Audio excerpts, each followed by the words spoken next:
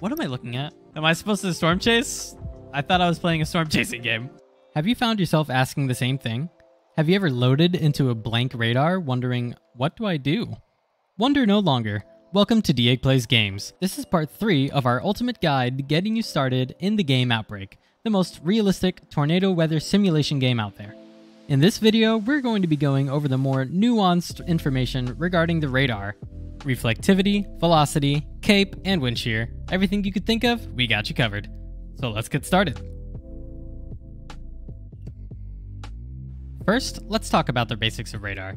There are two main types of radar data we'll be focusing on, reflectivity and velocity. As implied in the name, reflectivity measures how much of the radar signal is being bounced back by precipitation. Higher reflectivity means heavier precipitation like intense rain or hail. Imagine it as the radar seeing raindrops and telling us how intense the rain is. Velocity, on the other hand, shows us the speed and direction of the rain or hail particles.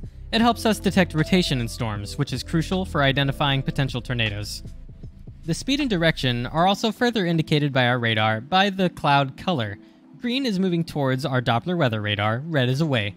Whites and blues on the green end of that spectrum means it's moving towards us more violently.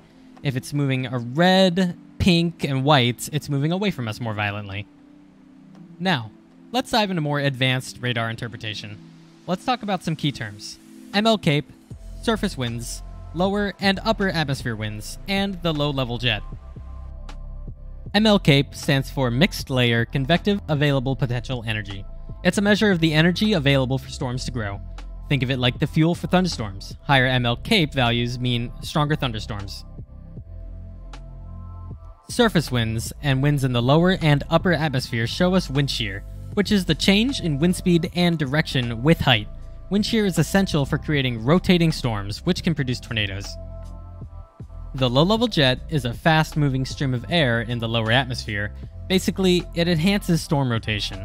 It's like adding an extra spin or a kick, increasing the chance of tornadoes. To predict tornado formation, we have to look at wind shear and vorticity. Wind shear, as we mentioned, is the change of wind speed and direction with height. Vorticity, which at the moment we do not have a way to measure in game, basically measures the rotation of air. We can supplement this lack of data with our data from velocity. Velocity tells us the rotation and change of direction of the uh, precipitation, excuse me. So we can use that to come to some sort of conclusion about how the air is rotating. When you see strong wind shear and high vorticity, it means the storm has the potential to rotate. Rotating storms called supercells are more likely to produce tornadoes. Look for radar signatures like hook echoes, which indicate strong rotation. During gameplay, strategically place yourself on roads with routes to different storm systems. Monitor your radar for changes in reflectivity and velocity. Use your knowledge of MLCAPE, wind shear, and the low-level jet to predict where and when a tornado might form. Position yourself safely to get the best view and place your probe without dying, which can happen in this game. With a little bit of practice, you'll be able to pull off close range intercepts and get insane wow, visuals. It's so pretty.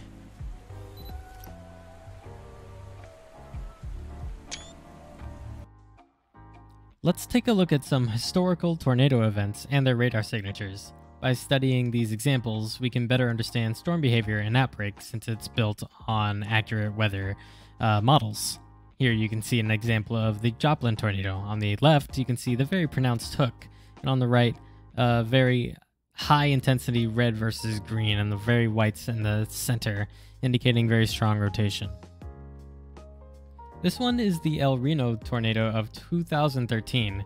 On the right hand side, you can see our very pronounced reflectivity hook echo, and on the left, the tornado is very clearly pronounced on the radar as the green and a sea of red, and very high indicators of rotation with uh, those high markers, those pinks and whites.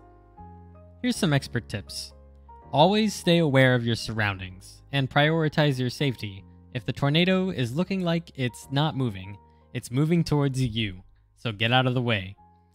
Use multiple radar views to get a complete picture of the storm. Keep an eye on the sky for visual cues like wall clouds and funnel clouds. And everyone just joining, you missed a crazy tornado, honestly.